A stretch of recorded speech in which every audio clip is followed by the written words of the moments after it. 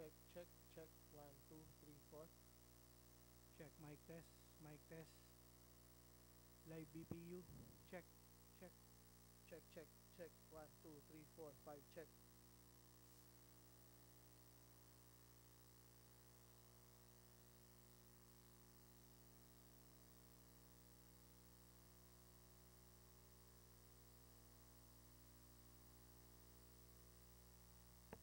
Check, check, check.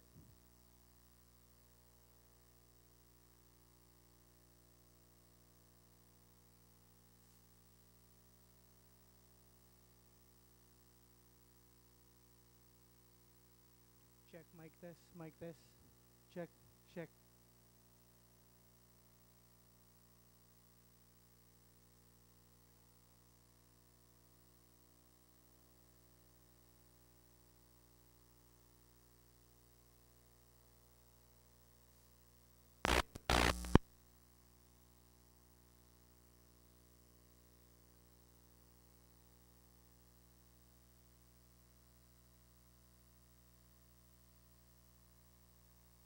Check mic test, mic test. Check.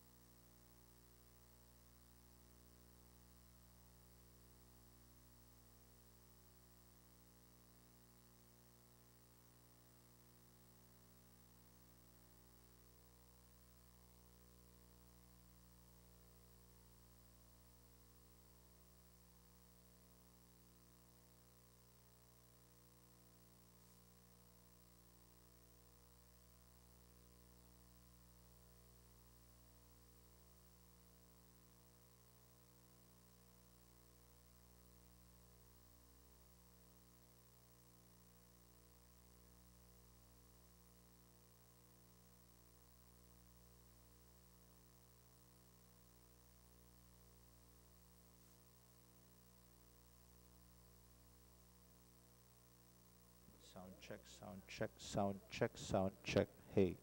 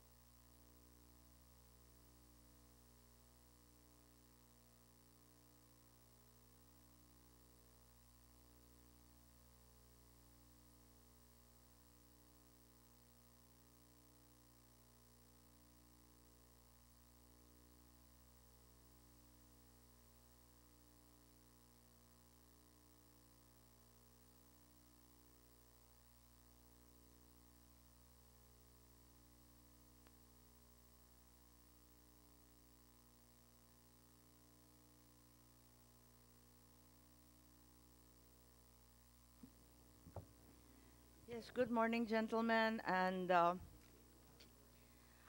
once more, there being a large number of um, resource persons and stakeholders, um, we call this meeting to order this morning.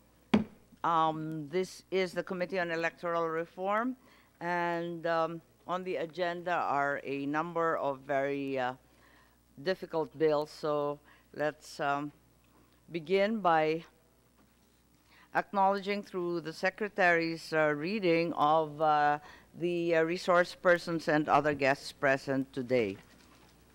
This being a uh, continuation of the previous session, there will be no roll call.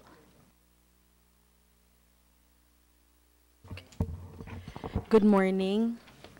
The Committee on Electoral Reforms and People's Participation would like to acknowledge the presence of our distinguished guests, namely Commissioner Marlon Casquejo, uh, Acting Executive Director Bartolome Sino Cruz Jr., Yusek Eliseo M. Rio Jr., Engineer Peter Antonio B. Banzon, Mr. Reynaldo Joseph A. Calyao, Deputy Executive Director Elmira, uh, Elmira Cruz Caicedo, Director Francisco V. Valles Jr., Mr. Romel Bernardo, Mr. Angel S. Averia Jr., Dr. Arwin Serrano, Mr. Eric Jude Alvilla, Attorney Rona Ann Vicaritos, Mr. Ramon Casiple, Mr. Francisco Pangalangan, Attorney Dindo Donato, Attorney Ariel Tubayan, Mr. Jun Ling, Mr. Rene Deonida, Attorney Roy Ibay, Dr. Nelson Celis. May I who I was not able to call?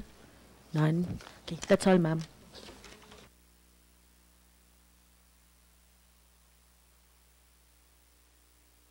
Okay, uh, we have an extensive agenda, and uh, there are some reports that uh, need to have been filed. Um, po. We uh, would like at this juncture to inquire regarding the reports and the request for submission from the different groups. I think the GPPB was uh, requested on February 11 for a written position paper on uh, Bills 221 and 809 as well as a non-policy decision or opinion on the exercise of the option to purchase by COMELEC. May we hear from Ms. Elmira Caicedo? Yes, uh, Madam Chair, the position paper is now uh, sub- submitted to our executive director for signature, and also the letter reply of the the maid. It was not an opinion, but a letter reply only to the COMELEC, and it will also be submitted. What's the distinction po between an opinion and a reply sa GPPB? Um, when it was issued by our executive director then, uh, it was not intended to be part of the opinions to be published in our website. Uh, it is uh, given to the COMELEC directly. So it's only a reply to a specific purpose, for a specific purpose, Madam Chair. and a uh, clear-cut query. Ganun lang yon. Yes, Madam Chair. So are you saying it has no impact on other, uh, on other similar circumstances in the future? it is just based on the facts as presented by COMELEC, Madam Chair. Okay, I think that's fairly clear-cut in any case. We are uh, talking about uh, uh, electoral matters in any case in uh, this instance, so that should suffice. So when can we expect to derive them? We are, I'm following up with our legal department and um, to make sure that it will be released within the week. More or less? Um, within the week, Madam Chair. Okay, okay. I don't need to pressure you. It's just that we have a fairly long break. And uh, we'd really like to push forward with all the matters at hand. Alam naman natin yung hybrid election lalo.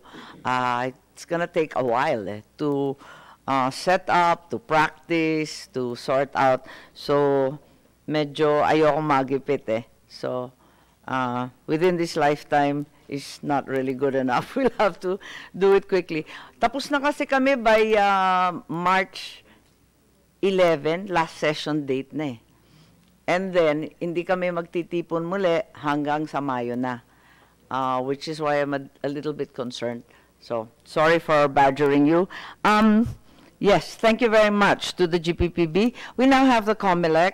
Um, there were a number of queries. The number of contracts and suppliers for the procurement of 2010, 2013, 16, and 2019. Maraming marami ba yan? Yung mga contractor and supplier? Yes Uh, po, Attorney Sino Cruz apparently since wants to answer on behalf of several- the COMELEC. Yes, ma'am. Uh, since, uh, since it involved several elections, medyo marami yan. But uh, we have already collated, ma'am, yung ano, and we will be able to submit yun next week. O sige, um, kahit partial submission lang ng tatlong pinaka-latest, Okay, ma'am. kasi ah, ito nga, we have to assess rin at baka sakali mapayagan tayo ng GPPB. Comparison of bundled and unbundled results. Ito kasi yung binabanggit ni Commissioner Bing Guanzon na mas lalong nagkalat nung na-unbundle yung mga kontrata, mas lalo raw magulo. Tama ba yung pagkaintindi ko? So we wanted to see yung results kung talaga bang mas lalong gumulo. Kasi ang daming nag-iingay dito at marami talagang ah, bills, pati sa media, maraming ah, ngaw-ngaw, na subukan natin i-unbundle. The contention of Commissioner Guanzon was that it complicated rather than simplify the process. Eh, meron bang data dyan? Kasi nung last time, nag-agree kayo na mag-provide ng end results. So, kasama na yan doon sa first three na i-sasabit namin next week. Ah, okay. Tapos may narration of facts um, regarding the charge of Dr. Celis that COMELEC only bid out once, in truth, in 2009. Ready na rin, ma'am, yun. Yung uh, reply doon sa statement ni Dr. Celis na we only bid it once. O kasi parang ang lumabas, yung kaisa-isang tunay na bidding na open, electronic, and uh, uh, participated in by a uh, sufficient number of bidders, eh iisa lamang. So, tignan natin kasi kinokon- kinocontradict ng COMELEC na hindi daw yun ang nangyari. Okay, cost estimate. Eto na. I think this time, we have a representative from the budget office. Asan ka na? Nagtago na yata kasi gastos na naman. Um, is there a representative from DBM, please, aside from GPPB? Kasi that concerns another matter. Parang nandito kanina.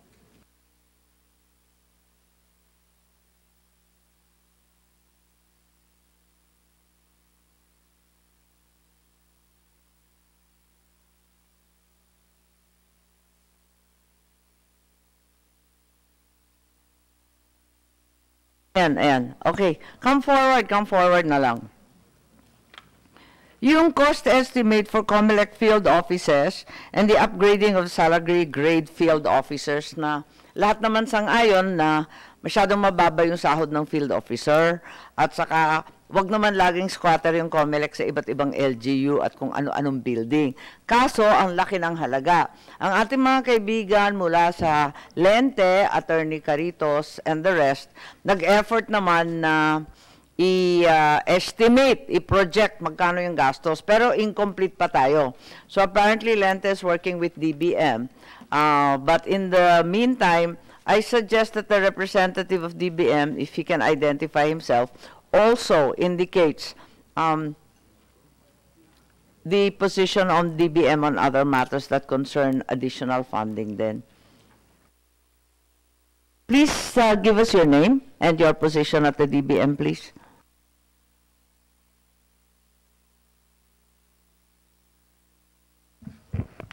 We acknowledge the presence and arrival of Commissioner Tony Co. Jr. Thank you po. So we have two commissioners here. Thank you for your participation. Michelle Kalika, Um, BMBC. yes po, Senator.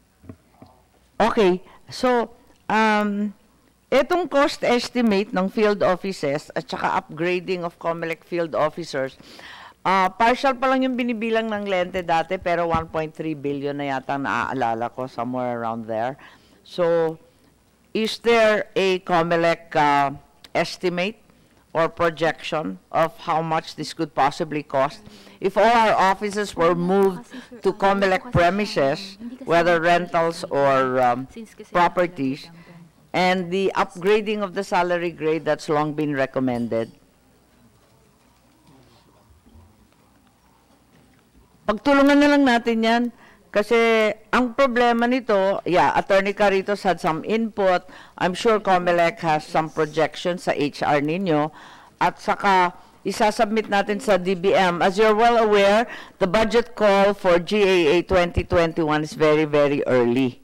So we better uh, knock on the doors of uh, DBM as soon as possible.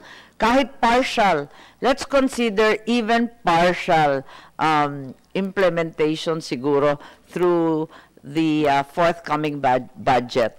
Kung hindi pa natin kaya dahil saksakan ng mahal at uh, bilyon-bilyon, doon sa mga critical areas na talagang hirap na yung COMELEC or sobrang baba ng sahod, eh talagang gawa natin ng paraan. Kahit partial lang, bak- baka kahit step one lang muna, sabihin natin sa empleyado, at saka dun sa mga lugar na napakakawawa naman ng offices ng ating COMELEC.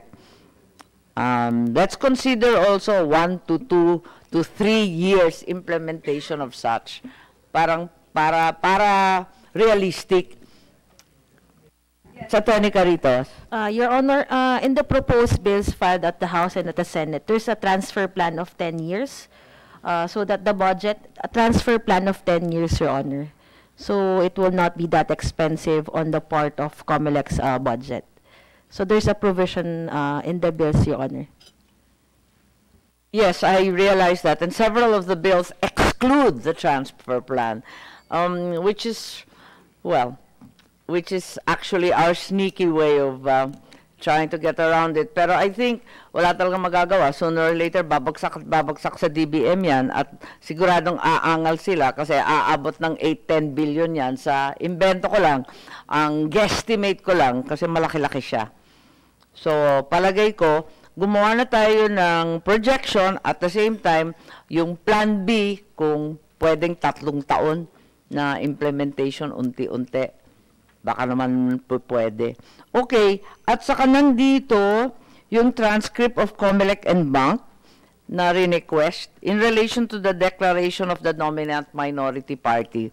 Uh, last uh, meeting, Commissioner Casquejo was with us, uh, Commissioner Ko, meron kasing mga revision from the LP, from uh, Kiko Pangilinan, Senator Kiko, who said that the definition of the dominant uh, um, minority party should be uh, specific towards the opposition as opposed to the second largest fielder of candidates.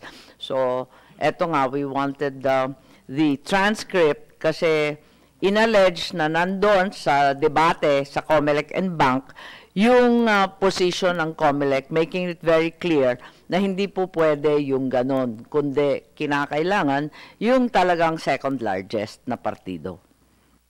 So, may we request a transcript? Meron naman kayong buong dokumento niyan. This is uh, the Commission on Bank. Yes, ma'am, I will request our uh, clerk of the commission to provide the transcript. Yes. Once again, uh, I'd enjoin you to please submit as soon as possible, given that we have to have uh, uh, several live actual run-throughs for the 2022 election. Eh, mahihirapan tayo kung wala pa tayong position sa iba't ibang uh, bagay-bagay na ito. These are all very significant. I think we also would like to uh, recognize the presence of two IT experts, uh, Mr. Alex Ramos, I think um, Mr. Rene de Unida, and we have here Attorney Ivan Uy as well to discuss the hybrid election. So, saan ba tayo mag-uumpisa nito? Hmm. I think uh, there are several Senate bills um, led by the Senate Bill number 7 of um, of our uh, Senate President, and it's called the Hybrid Election Act. So um, I am uh, curious if what your reactions are. Marami kasi ito, di ba? Step by step po. So unang-una, my filing of the COC is back to a day before the date legally fixed for the beginning of the campaign period. Parang meron siyang napaka-late na na COC filing. Masyado ng late para sa printing? Or okay lang, kaya pa? Masyadong late eh. Sa palagay ko, wala nang imprentahan, wala nang distribution po niyan. ano pong reaction so that we have it on record that uh, the commission will find it exceedingly difficult to uh, Uh, conform. good morning Yes, po. uh, Commissioner Ko, please. Uh, with respect to the f- uh, filing of the certificate of candidacy, that during the last election, it was uh, end of October, second week of October, uh, to, to give uh, us time to prepare and finalize the, the voters' uh, ballots, the candidates, because uh, we, we should expect also that once candid- uh, COCRs are filed, several candidates or several people might, you know, question the validity of the candidacy. So may mga hearing pa yan, may mga procedure pa yan. So it's too, if we move it further, we might have no more time to prepare the final list of voters, uh, final list of candidates. Yes, uh, well taken po. But at the same time, uh, for purposes of negotiation, when is the latest date you can live with to allow for a reasonable period to prepare the final list of candidates, print and distribute ballots, and so on? Ma'am, uh, we have already prepared in, in COMELEC, prepared a schedule already, our tentative schedule for uh, the incoming 2022 election. The initial uh, suggested date on our side, ma'am, sa COMELEC po, is from October 1 to October 8, 2021. October 1 to October 8. 8 of 2021. 2021. Ito nga kasi yung rinereklamo nila na masyado naman daw maaga. Tapos nagsa-substitute na lang yung iba't iba. Kaya maraming substitution pagkat napakaaga. Ano sa tingin ninyo? Ang maaring gawin?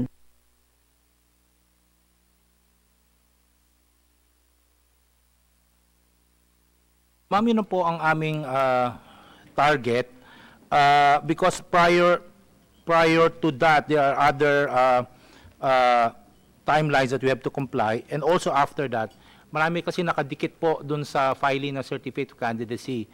Uh, pag nag-move yung cert- filing ng certificate of candidacy, magmo-move lahat eh. Magmo-move lahat. Uh, ang pinaka-delikado dito, yung printing ng ballots. Nga eh. So, Alam na natin yan oh. eh. Nagkaka-late-late kahit October pa. Tapos yung Tight na yun. distribution, bloody Ah. na. Opo. So, uh, when we prepared our schedule, uh, it was uh, agreed that it should be October 1 to October 8. So uh, apparently there's no wriggle room dun sa October date. Even take a week, uh, probably that would be. Yeah, that's probably it. I understand because I we've we've gone through the schedule before. Medyo gipit talaga sa panahon.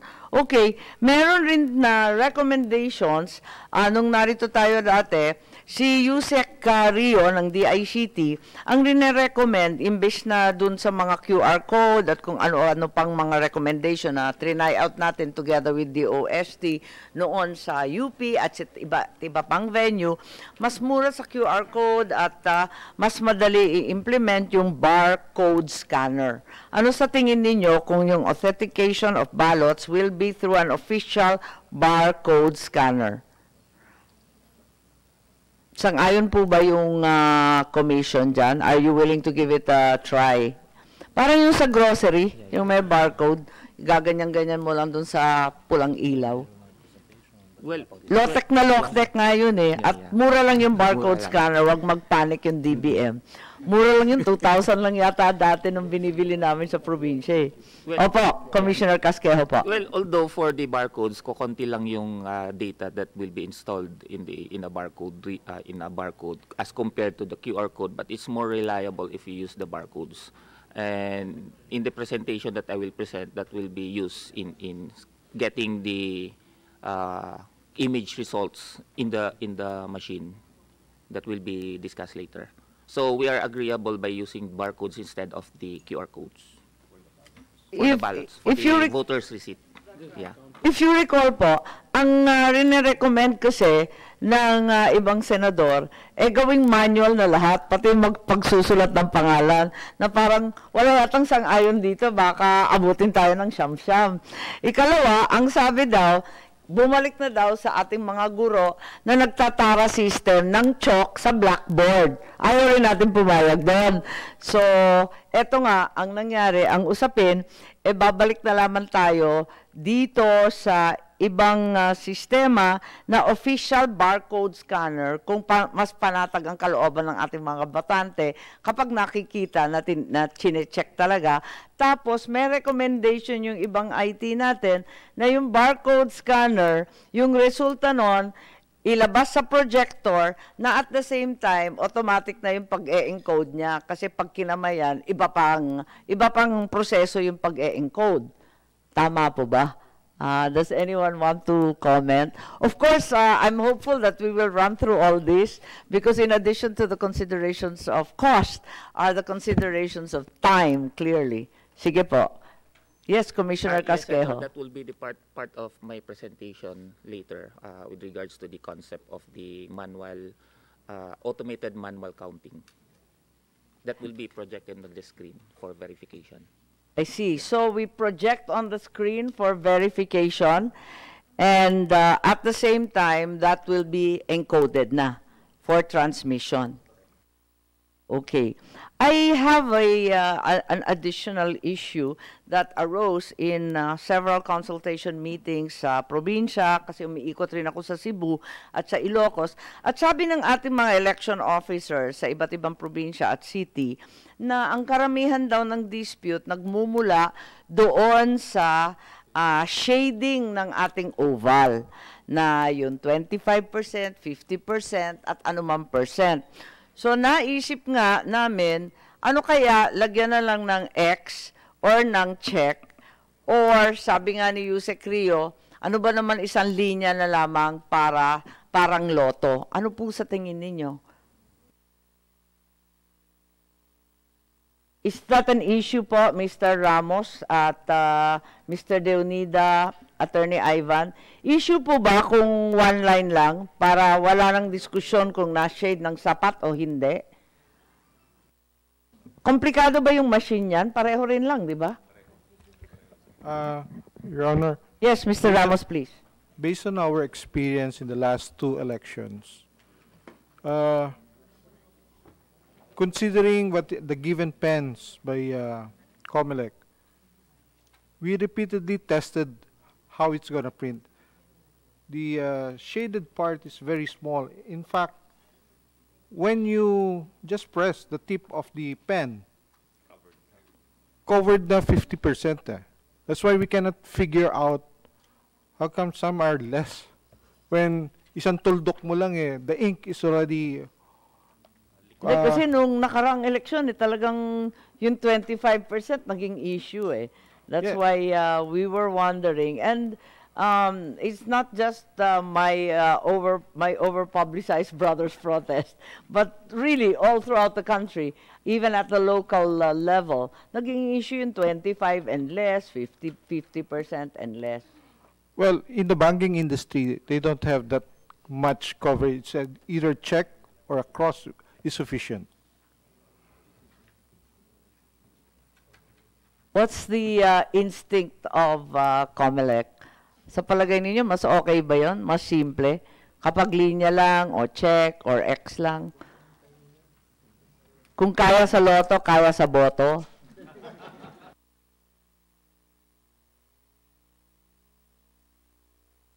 Your Honor, may, may, may I Yes, please. suggest? Mr. Ramos, Since please. there is already an industry standard in the banking sector, why don't we just adopt it? What's the industry standard in the banking just a sector? check or a cross mark. Across, oo. And this is for the banked. And the large number of our voters are unbanked and clearly uh, less capable of filling out an oval pa. That's correct, Your Honor. O sige. Ah, mahihirapan ba? Is that a whole other machine for Smartmatic and uh, Indra and the local providers? O pareho rin lang yun, di ba? Ah, Um, yes, Attorney Madam. Ivan, please. Yes, Madam Chair. Actually, um, pare-pareho lang yung mga machines. They're all just uh, scanners, no? So any, um, you, you just need to program the the requirement on how how how much shading or how much um, color um, or whatever that is in that area in the grid. So whether you program it to read an X, a check, or a dot, um, I think that that would suffice. Um, whether it's PICOS or the Lotto machines, where you do the, the the one, one line, um, they're all just image scanners. So, pare-pareho lang ho yung scanners. Yeah, sa palagay ko, napakasimple lang naman yan, di ba? you just tweak the, Oo, the pareho lang. sensitivity. Whether it will whether the scanner will recognize a full oval, 50% oval, or just Check. a cross or a check. Commissioner Ko? Um, uh, the, the logic behind why we require yung shading, uh, whether it's 25 or 50%, is to determine really the intent of the voter. Kasi uh, sometimes when uh, when when a voter votes, pag nag-start siya doon sa isang nagkamali, pag hindi umabot ng 25% yung shading, it shows that the voter did not intend to do- vote that particular candidate. Lilipat siya doon sa talagang gusto niya at he would shade it hopefully completely, no? Yung shaded area. Pag if we require a uh, a vote that would only let us say a mark or a a Kapag check. nagkamali, Pag nagkamali wala na 'yon. Tapos din pag nag-overvote, problema 'yan. Problema sa pag uh, nag-overvote, hindi, hindi na makaka mananal and void na yun. that particular position that example uh, doble ang na-check niya because he did not intend to vote yung una niyang chinade or chinek mag-overvote siya that's the logic behind why Why, uh, a- naging shade. naging shade at we require a certain A percentage certain for the percentage. vote for the machine to read the intent of the voter Kapag nagkamali, yun, at least uh, maliwanag, ganun. Ano sa tingin ninyo, Mr. Ramos, Can Dr. Celis? Mr. Reo- Deonida? Po. Can I comment, Your Honor? Yes, please. Uh, does it mean if that's been the policy of COMELEC, then the the votes in the previous elections where they have check marks are void? Hindi naman. Ang machine kasi magbabasa nun. So if the machine would appreciate that it's more than 25, uh, it will consider it to be the intent of the voter. Uh, sometimes kasi it's either check or any other mark. The the best way to to interpret it or read it is a shaded portion that's more than 25. That would only show that uh, the voter really voted this particular uh, candidate. Kasi kung mark lang or anything, dot lang or anything, bak pag hindi siya umabot dun sa threshold na yon, the machine will not read it or appreciate it. Pero so just to avoid any that, that this is only to avoid any uh, misinterpretation on the vote of the candidate. Pero of the vote of the voter, I mean. Pero hindi po ba, Commissioner ko, lalo sa probinsya, na pare-parehong pangalan, ah, nagkamali yung ating mga senior citizens, eh, isi-shade pa rin ang buo. Pero after a while, ay teka, hindi yon yung kapatid ang gusto ko. Paano yon? Nagkamali pa rin. Wala tayong magagawa sa ganun. Isa pa, there was another um, another uh, um, issue that was raised. Kapag daw masyadong madali at isang linya lang, isang tuldok lang, cross lang, check, whatever, um, ang sabi, mas madali daw yung dayaan sa pre-shaded ballots. Ano sa tingin ninyo? Medyo kailangan malisyoso tayo ng konti rito. Yes, Mr. Casino, please. Uh, Good morning, Madam Chair. Uh, It's been, it's been already known in the past uh, three or four elections that uh, pre-shaded ballots has all its faults, no? Uh, For one, as what, what expressed earlier, that sometimes there are overvotes, and I understand in the last 2019 elections, about, correct me if I'm wrong, nine, 9 million, 9 million were considered overvotes. And uh, it seems that the, the technology using OMR is no longer effective. It seems that uh, it's already done its obsolescence, already reached its obsolescence. That's why there are some uh, school of thoughts that would rather prefer to uh, maintain uh, the uh, manual counting and manual, uh, manual voting and manual counting so that it will be transparent. Uh, let's not forget the preamble in Republic Act 9369. It clearly states it, it wants to have an accurate, credible, and transparent uh, system. When you talk about uh, shading, and Ka, so what are you recommending? we're sa- recommending we, as, as what this, you're saying manual, pati yung sulatan ng pangalan? yes, yes, and then and then bilangan din in front of everybody that can see it. Yung everybody- tara-tara na naman. Yes, and then yung transmission. with the teachers. Yes, because in the past uh, performance since uh, from, in fact, if I would refer 1997 to uh, 2004, in fact, where the Republic Act 8436 was in effect, COMELEC was still running on a manual environment. In spite of the order, or in spite of the law passed in December of 1997, uh, uh, uh, mandating COMELEC to run on a nationwide automation, but for the four successive elections, 98, 2001, 2004, until 2007, everything was running on a manual. So there's nothing faulty for the COMELEC to run on a manual environment while the law is still in effect. In fact, in 2007, that was the only time it was, uh, Republic Act 9369 was ratified, and yet, in spite of it being ratified, COMELEC still opted to run on a manual environment. So there's nothing that would defeat COMELEC in going back to the manual environment. And we know, going to the manual environment, by two or three hours thereafter, when the polls close, the results are done in all 350,000 precincts simultaneously. It's just a transmission, the transfer from one location to the consolidation center is where the you know ballot switching occurs. That's why uh, there are some schools of thought recommending from the precinct to transmit it electronically accompanied by a digital signature. Not the kind of digital signature issued by Smartmatic, which is really false because uh, they claim to be a digital, but it's actually a fake digital. Uh, it's not a, it's not uh, uh, the, the true digital signature because under e-commerce law, the definition of electronic signature, it must associate to a person. Now, if we look at the spirit of the law of the Omnibus Election Code, the, the manifest of the Board of Election Inspectors, the chairman, is not just a ministerial act of signing the elect election returns. It is a manifest testifying that they witnessed, they conducted the electoral exercise in front of all the poll watchers, evidenced by the citizens' arms and all the representatives. And then the results are, are, are, are valid and authenticated, therefore they, they sign. That's why in the in this, the spirit of Republic Act 9369, the application of digital signature is not just purely an add-on, but it's also the conversion of the person associated to that digital signature is attesting that yes, these election returns are true and accurate and it's been witnessed by everybody. Ergo, when I transmit it, I, I attest to that.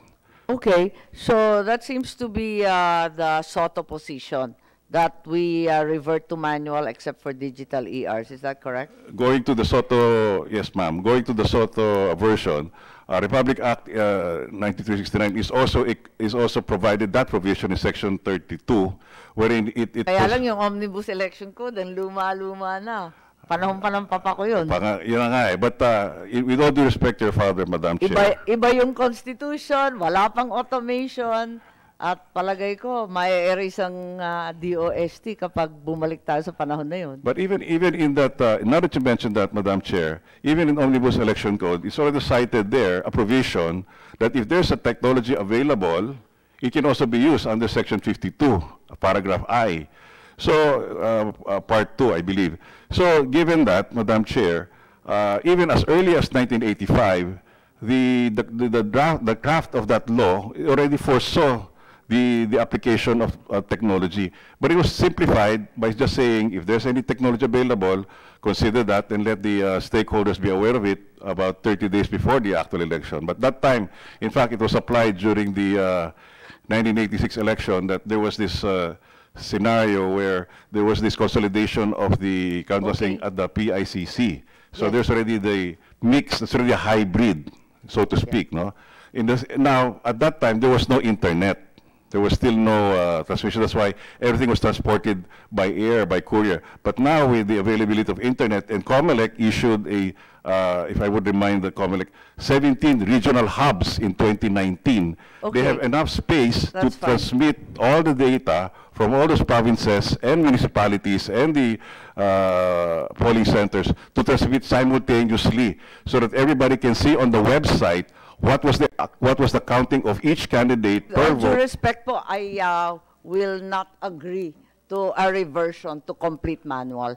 So perhaps we can just round up the uh, discussion and uh, hear from the others.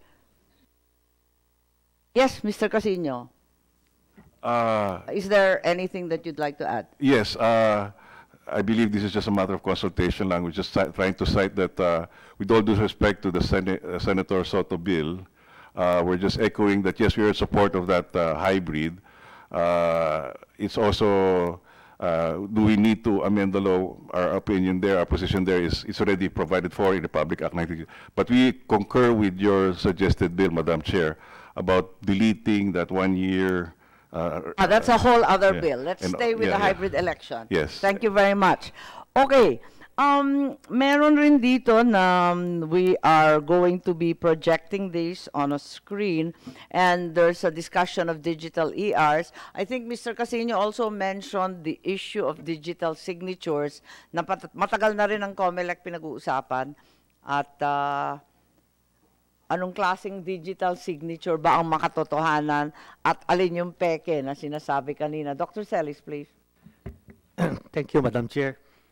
I uh, concur with the uh, opinion of uh, Professor Casino. In fact, if I may add, in 2004, we adopted the manual election system. Aside from what he mentioned, in 1997, and then By manual, you mean uh, Yes. manual writing of the names, Yes, manual counting of the ballot at everything was manual. level? Uh, in fact, there was the intended automated election system that was uh, already tested in 2003, including digital signatures, no, using VeriSign. And you would be surprised that COMELEC has adopted digital signature in 2003 for 2004 automated election system. So they May believe... comment po ba yung COMELEC? Sorry, Dr. Celis, please. Yes. Yes, Dr. Celis. Uh, they believe in digital signing because they adopted that in 2003 for 2004 elections. And we were wondering why in 2009 they were not able to bid out digital signing for 2010 elections. No? So, COMELEC, uh, uh, shall we allow them the right of reply? Yes, COMELEC, please, 2003, 2004. Wala pa yata kayo noon. Mga baby tayo. I- Tayong lahat. Uh, If yes, I- uh, if- Attorney Sino Cruz, Yes, ma'am. If I remember right, 2004 elections was a manual. Yes. So I don't think there will be occasion to use yung digital uh, signatures. uh, what I'm saying was that uh, there was na like what Mr. Casino was saying and Dr. Celis was saying, puros manual. Yes. So hindi digital signature yung sinasabi niyo. Yung question kasi was digital signature. I thought it was a reply to that. Yeah, supposedly there was an automated election system in 2004. And Executive Director Sino Cruz knows that. He was involved in that uh, project.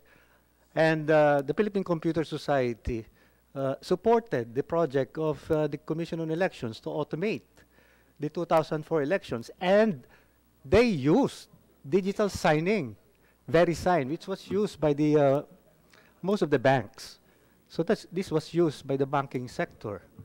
So we were just wondering why in 2010 they were not able to implement that, in spite of them attending a week, a week uh, training in PLDT, ePLDT.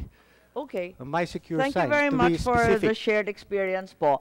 Uh, pero 2004 is a long time ago. It's 16 years ago. Yes. Since then, we've undertaken several automated elections. Right. Perhaps we should learn from those experiences Now, as what well. I'm saying, Madam Chair, is that they adopted digital signing uh, for uh, supposedly 2004. Kaya lang, uh, the Supreme Court stopped the May dignicha, yun na nga, pero yung Supreme Court stepped in, di ba? Yes, they, Kasi they nga stopped the manual, automation. biglang may digital signature. Parang ang labo ng Ah.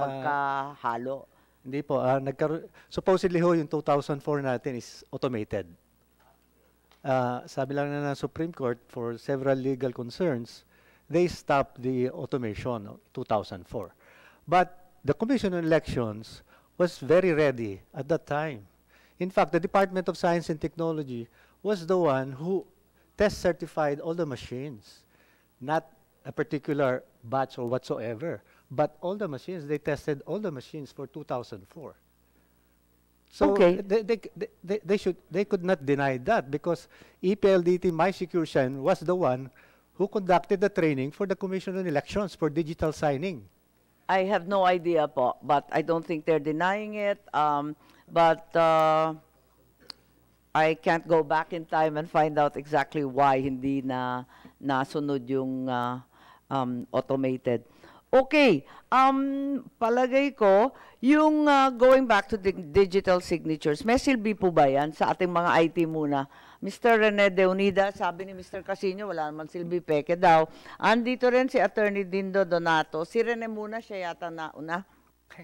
Well, um, actually po, uh, when it comes to digital signature, no matter what kind of digital signature ang gamitin natin, authentic naman yan. Whether it's a VeriSign, it's but the problem is like this. If you're um, A and B class, you understand what is a digital signature, right?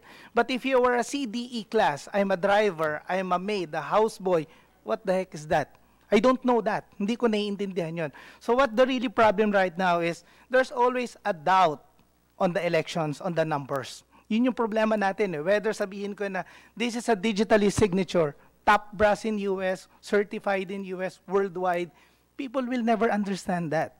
So what probably for me as an IT um, uh, data analytic, so probably siguro one of the reasons that we can come up is to, after five minutes of the elections, during the precinct, ilabas na natin yung result. So there are two types. That's why meron nga tayong um, official counting and unofficial counting. What do you mean by official counting? Ibigay na natin sa COMELEC as an official calculator, right? But after five minutes, the closing ng elections, ilabas na natin lahat ng resort. So ngayon, i-amplify natin yan, i-live natin yan with the technology that we have now. Ngayon, people see the result. Bahala kayo ngayon mag-add out of 80 plus thousands a percent. It's really up to you. Now, wala ngayon siyang doubt. Kasi pag nakita ngayon, kasi if I'm doing something wrong or meron akong planong So gawin. ang with that sinasabi mo, dapat may dig- digital signature o wala? Anong klaseng digital signature? well, Anong kasi- recommend ninyo? uh, Madam We're Chair, just looking for solutions now. I'm sorry I'm uh, being quite abrupt and cutting you off, but uh, medyo bloody kasi ito eh. We'd like to move forward. I'd also like to acknowledge my colleague, um, Senator Francis Tolentino's arrival. Thank you for participating. Yes, Rene? Well, actually, uh, my, my point is, digital signature is still requirement. Nandyan yan. But we have to support the digital signature. What the other hand, let's say, the digital signature, we understand only by class A and B. Ito yung mga nakakaintindi. But uh, the- my question is, yung digital signature ba, maiintindihan ba siya ng class C, D, E? How are we going to cater that? Paano natin ipaiintindi sa kanila? Anong way? Anong process? The only process for them to understand na this election is legit, in five minutes after the poll, lumabas na yung mga uh, lumabas na yung mga result. Now the digital signature comes in. Ito yung magsasabi na legit itong mga numbers na lumabas. So Okay. parang- Um, I think I have to recognize Attorney Dindo. He was the first to raise his hand. Thereafter, we uh, will hear from uh, Attorney Ivan Uy and you, Sec Rio. Thank you. Attorney Dindo, please. Thank you, Madam Chair. Um, good morning. I'm Dindo Donato. I represent Tandem, Tanggulang Demokrasya.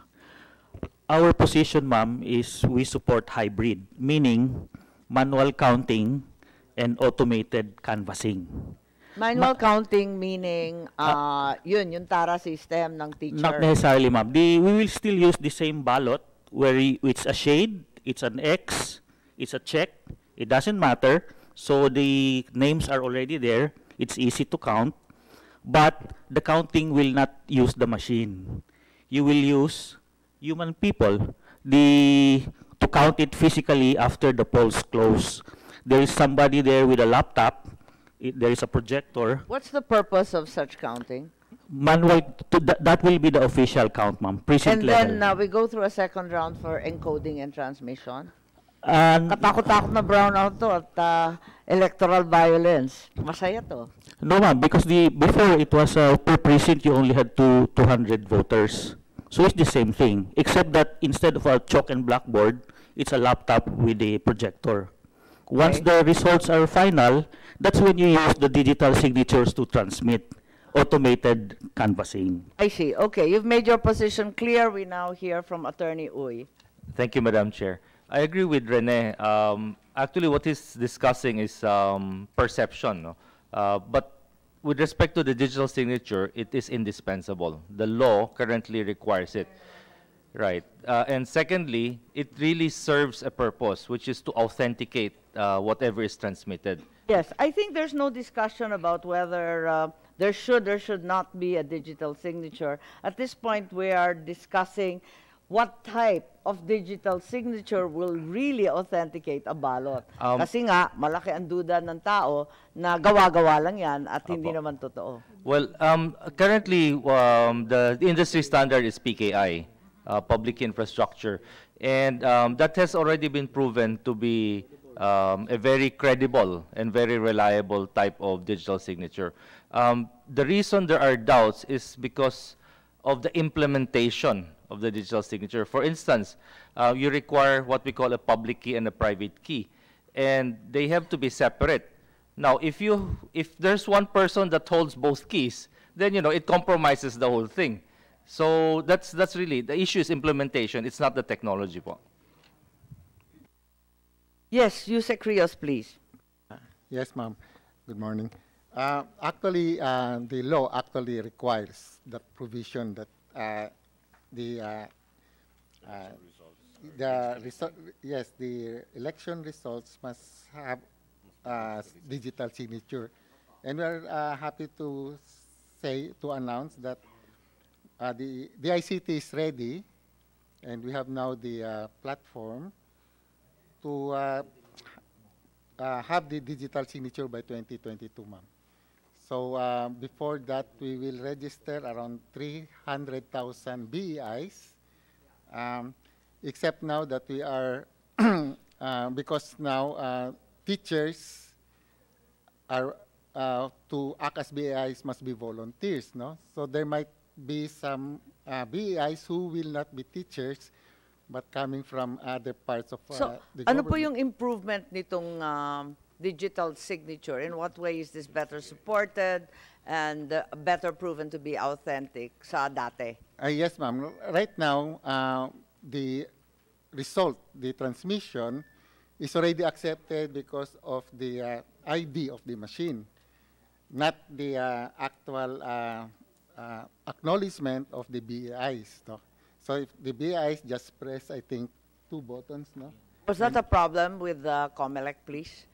Yung issue na yung ID it's- I don't machine? think, ma'am, it's a problem, but it's not in the provision of the law. No, what I'm saying is it a uh, constructive improvement over the old system of the digital signatures that were more or less uh, doubted? Uh, yes, um, Commissioner Casquejo, please. Yes, ma'am. Actually, I can, uh, well, I can speak for the 2019 elections because I was the steering com of that time. Pinanganak Uh, na yeah. tayo nun. Yeah. and uh, even the machine, the VCM, is uh, already capable of accepting the di- uh, digital signatures. Well, it was already enabled. Only that uh, during the time when we proposed it to the DICT, the ICT is not yet ready for accepting digital signatures. So it's not the COMELEC that we are not acknowledging the digital signatures because that is part of the uh, the automation law, and uh, the machine is capable of that. Uh, only that uh, it's not uh, it's not yet ready for the, the ICT to accept. So that is why there's a button there that instead of the digital signature, that will be the machine uh, identity of the machine that will be accepted by the CCS. So with the the recent development of the DIC that they can already uh, yeah accept, And then we can authenticate. do that. That's a significant improvement po. Yes. Okay.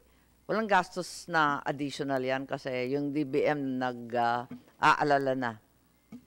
Walang additional gastos yon no, ma'am, Enabled na it's talaga within our siya. budget already, ma'am. Okay. Um, I think there are also in the bill several other provisions such as the use of the tally board. Ay, yung TARA, hindi na yung TARA, kundi yung sinasabi ni Attorney Donato, um, na ang gagamitin na ngayon will be a projected real-time input of results in the digital election return. Ito ba to? Section 10. Ito nakasabi rito.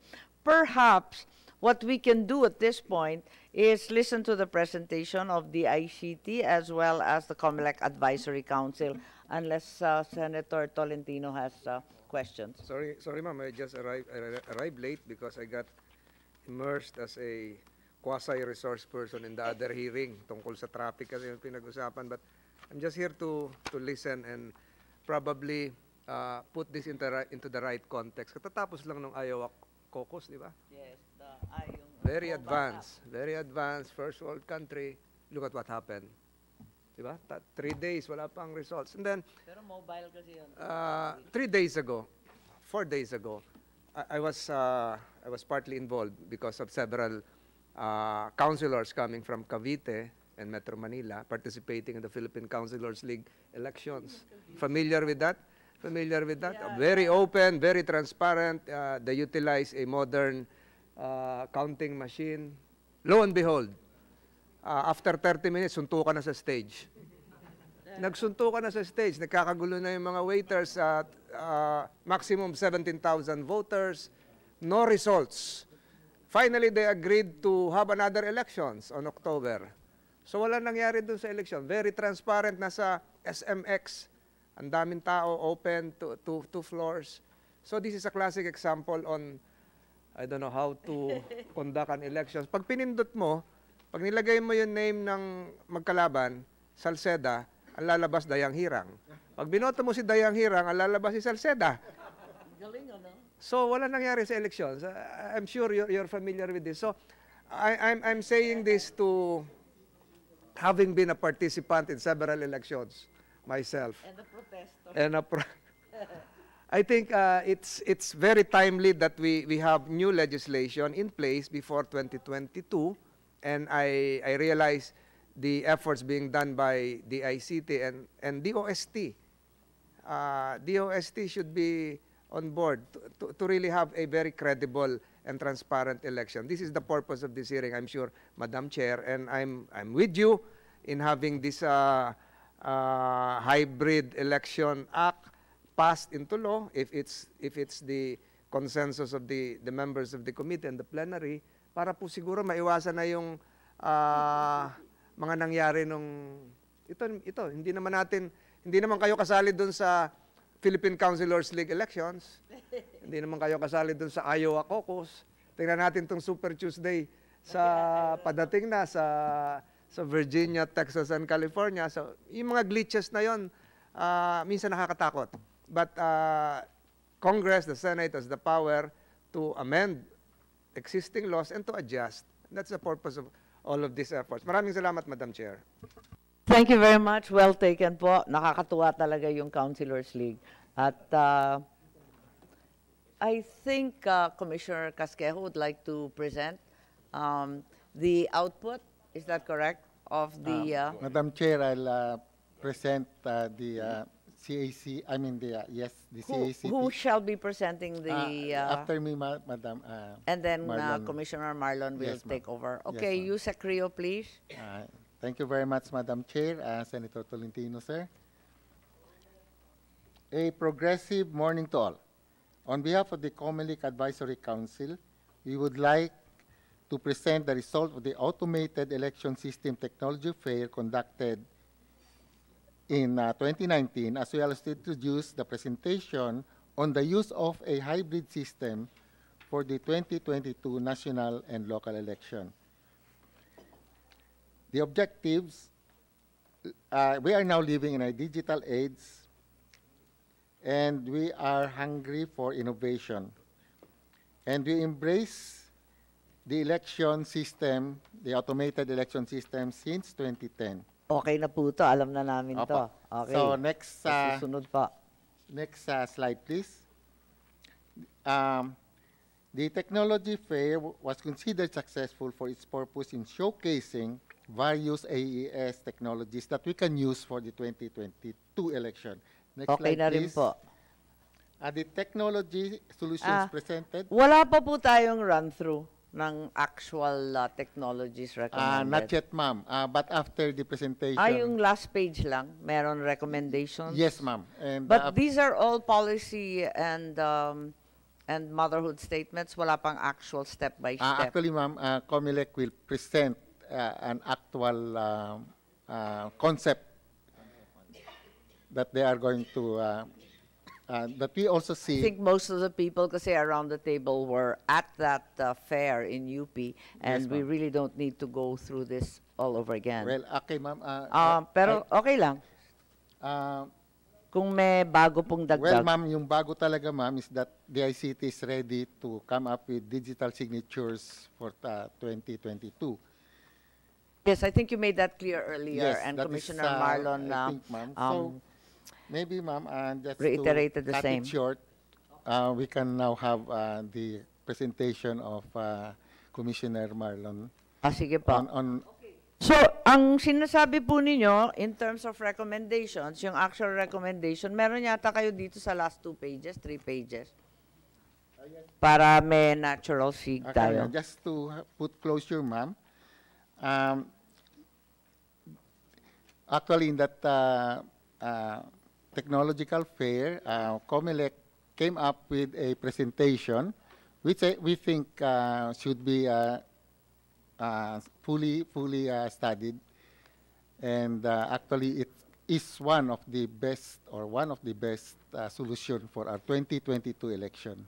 I think that's uh, I think that's the concern of most everyone here, from Attorney Donato to Mr. Casino and the rest, who want everything to be uh, projected on a public yes, ma'am. screen. Uh, actually, ma'am, uh, what the uh, improvement that we can recommend, no, in- including uh, CAC, is that right now uh, the only concern of voters is that they don't know how the machine tallies their votes. No, we Right. put our faith. Parang lahat natatakot. Pag sinubo na Yes, sa ma'am. machine, bahala na yung machine. Yes, ma'am. But uh, that's why the transparency of the counting um, could be done also automated, not in the old way that you have to uh, read all the names of the candidates and somebody put uh, a Tara mark. It will be actually what was suggested by Attorney Donato. A computer will actually count it with uh, very less human intervention. Okay. Um, narito rin, aside from transparency and uh, public information, yung authentication of digital signatures, I think we've been through that. Tapos meron kayong early planning and conduct of educational campaigns. I think um, that's um, being undertaken by the COMELEC with great difficulty kapag inagahan pa yung finalist. Kaya mukhang um, okay na rin yan. Yung itong explore online and internet voting. Ngayon, si Commissioner Guanzon, sinasabi pa yung mobile app na nagkagulo sa Iowa, tulad ng binanggit ni Senator Francis. Um, ano itong online and internet voting? Are we presently using the same? Ah, no, Wala pa tayong ginagamit na No, ganyan, miski sa OFW, di ba? Uh, yes, ma'am, but we are still using the uh, AAS, uh, the VCM for uh, OFWs, ma'am. That's right. Wala pang online. At uh, it seems that that's the uh, great cry of the OFW and the continued uh, small participation of our offshore Filipinos. O sige, okay. And so the hybrid approach seems to be having, instead of hybrid, more and more automation. Tama ba? Ah, More yes, and more technology. Imbes The- na hybrid, parang nadadagdagan lang ng projection, barcode, Yes, digital ma'am. signature na, na, na, na may additional output sa DICT and so on. Yes, Tama ba yung ah, nakikita natin? Kasi kapag nag-automate ka, dadagdagan mo ng additional technology as safeguards, as gatekeepers, and uh, and authentication um, na sector. So, parang nadadagdagan ng technology eh. Anyway, uh, that's just an observation on my part at medyo kinakabahan ako at uh, talagang pinapansin na magkano ng uh, DBM. So tignan natin. Uh, Commissioner Casquejo, if you are ready with your presentation, we're happy to hear. Yes, uh, good morning once, once again, Chair and uh, Senator Tolentino. So I come up this uh, concept. Actually, it's my own concept, not the concept of the COMELEC. That is why there's a disclaimer there. Okay lang po. Dahil, uh, dahil uh, we're brainstorming, as it Yeah, were. I yes, won't yes. hold you to It- any it's- of your it's opinions. not the stand of the COMELEC as well as the COMELEC and bank. So I just come up this concept because of the clamor of having a hybrid uh, concept. It's more on the the issue on the counting process, but not the voting, but not the transmission. Because uh, in the previous automated elections, it's uh, less than the one minute tapos na yung counting. So the the the voters uh, tinatanong nila tama ba yung pagkabilang. So that is why there are issues of election protests. Now, Yun if nga, go back, ah, yeah. minsan nagtataka rin, di ba, yung mga seven hours na nagba-blackout. Yes, yes. Tapos mauuna yung ABS at yung GMA kesa sa COMELEC at sa NAMFREL. Kaya nakakapagtaka talaga kung Yes. paano nangyayari yung ganun. That is correct. Okay, so next slide, please.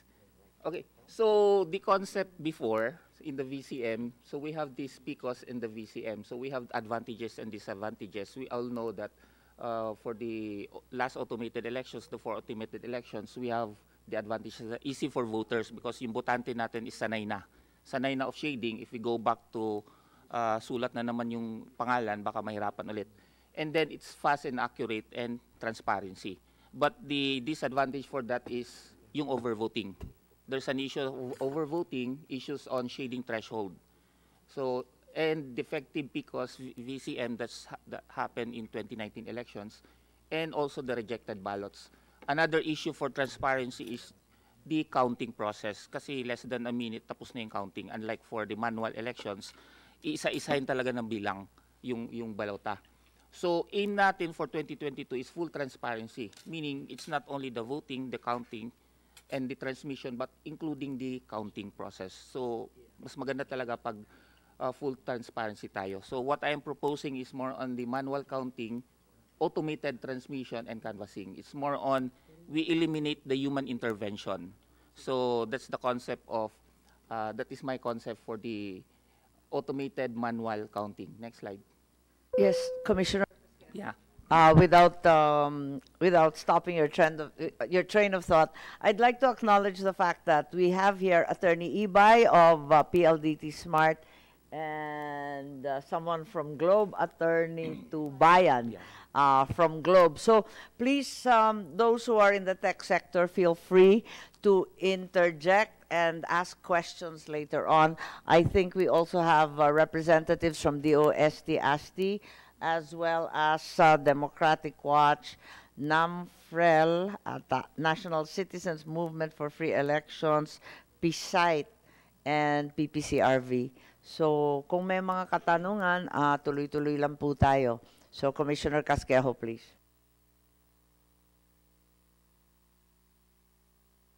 we don't need to deviate the procedure of voting. So we still use the same ballot, the, the printed ballot, but instead of shading it uh, using the oval, we may we might deviate, uh, deviate it using the lotto type shading, which uh, will resolve the issue of a certain percentage.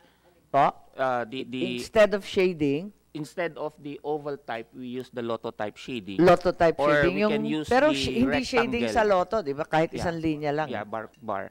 Or we can use the rectangle instead of the oval because the issue of the oval shading, I know the IT experts knows this, that the shading uh, uses the pixel that is square. So, pag oval kasi may naiwan doon sa dulo, so that is around 15%. If you add that one 15% with the 25% inside, that's about 40% actually, it's not 25%.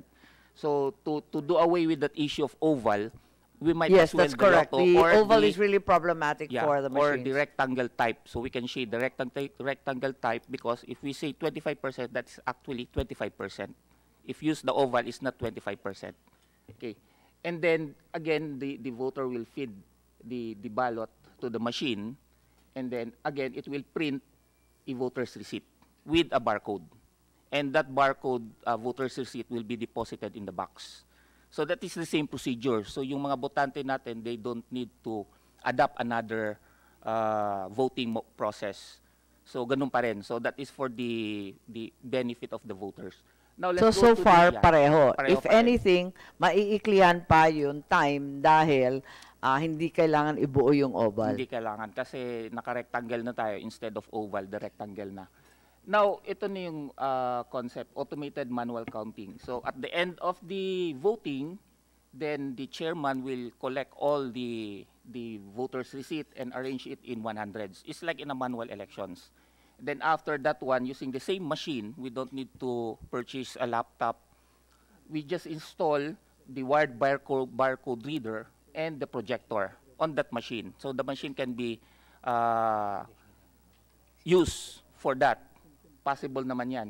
Then conduct necessary security procedures of the machine for close voting. Then after that one, individual scanning of the barcodes. once the, the barcode of that voter's receipt is scanned, the image of the ballot being scanned previously by the machine will be reflected on the screen. The image ballot itself. So you can see there kung sino yung sinid ng botante. And then after that one, the EB can compare. And the watchers at the back and the public can see whether the one written in the voter's receipt, yun ba rin yung shaded uh, official ballots na nandun sa screen. So that's the time it can be verified. And if the result is For correct, how long will it yes. stay there? Senator Flash on the. Tolentino. For how long will it stay there? Baka naman half second lang. uh, may may input doon that it can be, uh, the the the EB will uh, the chairman will press okay if it's already uh, being verified by the watchers as well as the public. Away-away kasi oh, tagalan mo yan, bibilisan mo yan, di ba? There's, yeah, go ahead, go ahead. Yeah, yeah. And then after that one, once all, uh, if if the the one reflected on the screen, the image of the ballot is the same as that of the voter's receipt, then that will be tallied automatically uh, to the tally sheet inside the machine. So it's like uh, we're just breaking the procedure of uh, counting because the machine, uh, once uh, you close the poll, automatically it will count. So we just break, we just add some source code of that to do individual counting. With Sa palagay ko, maganda rin yun eh. Kasi yun nga yung duda ng tao. Pag pinasubo na dun sa machine, wala na Mm, silang alam. wala nang alam. This way, napoproject sa screen, kita ng lahat ng tao. mismo, Katulad nung Tara yeah. noon. Yung balota mismo na sinubo ng botante, magpro-project sa screen with the voter's receipt and that will be compared kung tama ba. So supposing the voter shaded more than 12 senators and then in the voter's receipt is zero, walang nakalagay, so you can verify bakit wala because overvote siya. Or let us say there's no vote for mayor, walang binoto pala yung botante doon. So in that way, doon pa lang sa presinto mismo, alam na ng mga botante, alam na ng mga watchers So na makikita ng botante yung mismong balota. Yes, that will Nakaproject sa screen. screen. This is even better than the old manual. Yeah. Kasi yung nakakakita lang yung guro, di ba? Tsaka yung ah, election officers. Yes. So that will be the concept. After all the the, the tally sheets or the the the results or the votes counted, then that will be transmitted. Which ah, part will be acceptable in evidence? Kapag nagka-protesta, tapos It's- it's pinakuha the, lahat, The ballot, the ballot, the paper ballot. yung balot, Yeah. makukuha natin. Yeah. And secondary will be the uh, digital image. Aling digital image yung nakaproject sa Yung- screen? Yeah, yung nas Pero hindi nga eh, sabi nga ni Senator Tolentino, baka one second lang, hindi mo mabasa. Uh, hindi siya, pwede natin lagyan ng delay. It's more, it's more on Or uh, lagyan na lang delay ng program. live feed. Yes. Or i-film. Ang da'i-da'i namang may, may, may smartphone. Yeah. Pwede naman nila picturean whatsoever. So so the the the watchers can do that. Yes, please. Again, it will, it will uh, uh, bring the issue of amending some of the provisions of the Omnibus Election Code because we will now be involving the discretion of the head of the Board of Election Inspectors uh, if a if a candidate or watcher would be asking that said said controversial uh, flash on the screen be set aside or be not counted. So, hindi ba kailangan may baguhin din? So, ang sinasabi ko po, Madam Chair, dito sa present, napakaganda ng presentation ni uh, Commissioner Marlon, pero siguro mas maliwanag sa committee kung ilagay na rin niya kung ano yung pwedeng baguhin pa sa election code na sa proseso. Uh, we're, we're- we're looking at a situation wherein uh, contest, uh, contest with S, with an S, will be made right there and then calling for a decision coming from the uh, the board itself. So siguro ilag isama niyo na 'yun, sir, para ano mapag-aralan na ng committee. Sa palagay ng COMELEC, ano bang kailangan amyendahan? Just off the top of your head right now. Uh, maybe it's the minimum Based on this, kung masunod yeah, to, the minimum requirements of the AES that includes now the individual reading of the ballots. Because in the, the counting, the counting of uh, ballots in, I don't know what section was that, it's more on uh, parang open-ended lang. It's, uh, it's, the, it's up to the COMELEC whether it, it will use the individual counting or automatic counting. So maybe we can amend the uh, minimum requirements. Yes, uh, Yusek Rio, please. Actually, ma'am, the uh, IAS law uh, provides for a random manual audit, no? In the presentation of Marlon, actually it is uh, 100% RAM. Uh, random. Uh, it's no longer random, madam. It's 100%. Ah, Yun, Yes. yun lang po ang nagkakan. And the expenses for the random or the manual random audit actually could make I up see. for this, ma'am. pero that doesn't require an amendment because the law only stipulates the That minimum is where the audit. amendment should When be. in fact, you're doing much more, hindi naman prohibited yan, kundi mas matutuwa pa tayong lahat Yes, niyan. ma'am. And it, the cost of the, uh, uh, actually, ma'am, can uh, more or less make up for the cost of some of the projectors. Next slide, please.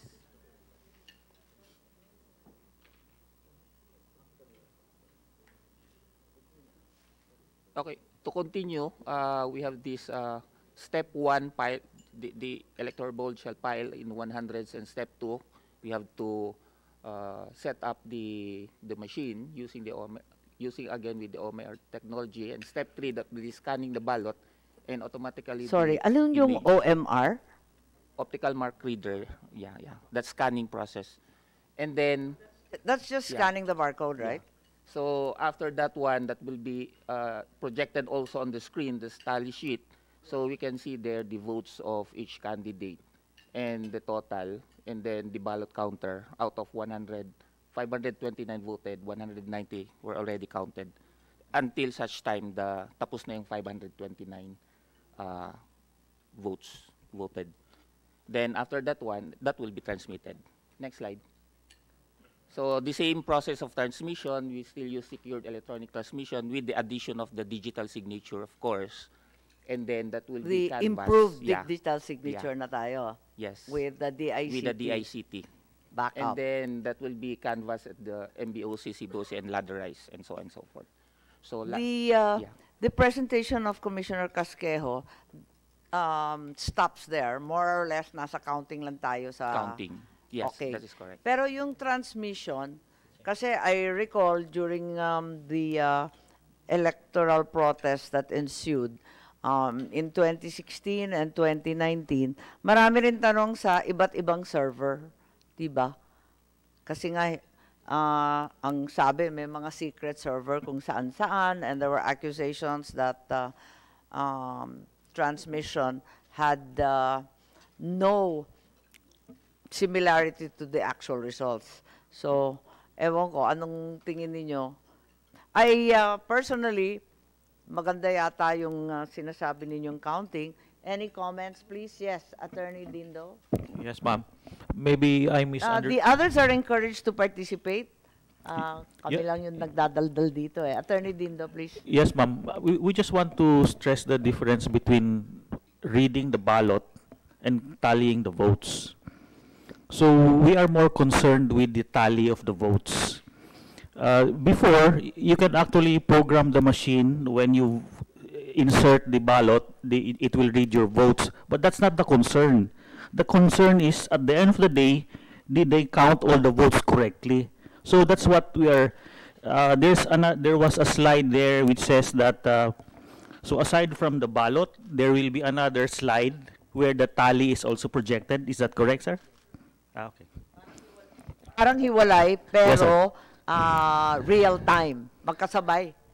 So, habang pumapasok yung ballot dito, naka-split screen siya. Pumapasok rin dito sa tally sheet. Tama ba yung pagkaintindi ko? So there's a separate screen for the Or tally. uh, the Is same correct, screen, you just split Uh, screen, af- yeah. After Sure. uh, the, the, the, board, the, the chairman has already verified the votes printed in the VVPAT as well as in the projected screen, then that will be entered into a tally sheet, which I- is also in other words- Which is in other also words- uh, being uh, fed live Yeah. Into the tally sheet. That's what we would like to clarify, ma'am. Is the tally, will that appear at the end? Or while you're Hindi, counting magkatabi. it? Magkatabi nga sila eh. Magkatabi. Ah, while, while it is being ah, counted? can, we, we can divide the screen. image-wise, isinusubo dun sa tally sheet. Okay, ma'am. Yeah. That is possible naman in technology. You can divide the screen. Yeah, you- scrolling that, up and down. yes, old-fashioned movies had that all the time. Okay, um, somebody was raising their hand, Dr. Salish? Thanks, uh, Madam Chair. You mentioned about the queuing server, the secret server. My comment with that is that uh, we also need digital signing, not Okay. only for the uh, precincts. We need f- uh, digital signing for the uh, Board of Canvassers, not only for the Board of Election Inspectors. What, what were presented are practically the precinct-based. So what we need to... Eh, andun pa lang tayo eh. Yes, Uh, because you mentioned, ab- you asked about the Yun nga, yun nga. Kasi, kasi uh, Commissioner Casquejo very prudently um, addressed the first issue nga, which is the counting at precinct level. Uh, but I think sooner or later, perhaps we can't finish everything today. Uh, we have to deal with the transmission. So I enjoin you all to contribute to uh, the transmission issue then. So Of- of Dr. course, please. Uh, with the with the hybrid uh, presentation, I uh, I concur with the Secretary Rios presentation. No? Even we submitted uh, to uh, oh we, we, we even discussed and uh, deliberated on the uh, uh, amendment of the law with uh, Senator Dick Gordon, and we submitted this to the Joint Congressional Oversight Committee months or years ago, but this was not discussed in the Joint Congressional Oversight Committee. But nevertheless, we submitted it to your office, Madam Chair, yung uh, uh, uh, with regard to the amendment of the uh, RA 9369. In fact, we coined the hybrid into another term called composite. Composite, composite election system, wherein we're, we're, we're not particular with the technology no, to be used in the precinct. What we're after is the public counting. Whatever the technology available, then uh, that is the draft of the amendment that we uh, submitted to the JCOC years ago and to uh, the office of the Madam Chair. And uh, I would suggest that the uh, Advisory Council no, deliberate further on the technologies to be used for public counting, just like what the criteria has uh, or have already indicated here. no. Uh, not particular on the uh, on the technology, but on the price, but on the process. Like what criteria are we going to uh, subscribe into? So criteria set 1, sa- criteria set 2, criteria set 3. Yung bang criteria nito, do sa presentation ni uh, uh, Commissioner Casqueo, no? Nag, uh, ano ba to? Nagtatali ba ito? So, I, I would suggest, kasi masyadong matagal ang deliberation if we're going to discuss about technology.